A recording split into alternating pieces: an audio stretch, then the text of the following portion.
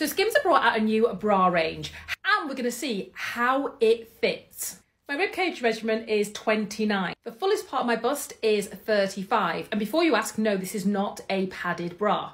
So when I do the maths, I should be a 30F, which is what I've got on at the moment, UK, or a 30G US.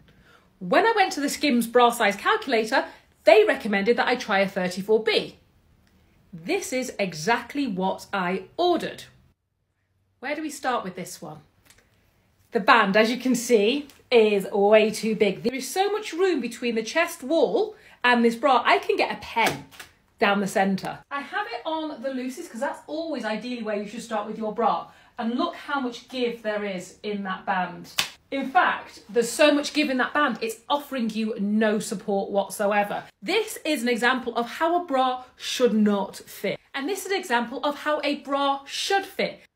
There's no gap. The wires have got all the breast tissue encompassed. My wire stops on my chest wall. As you can see from the band, there's very little give, which is what you want, and it is on the loosest.